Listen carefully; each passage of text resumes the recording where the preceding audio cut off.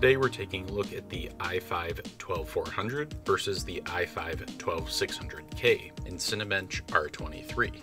I'll be running both CPUs at stock power limits with a high-end case and a high-end cooler to remove any temperature-related throttling. The i5 12400 is of course a 6-core 12-thread budget gaming CPU, and the 12600K is a mid-range 6P core 12-thread plus 4 E-core CPU.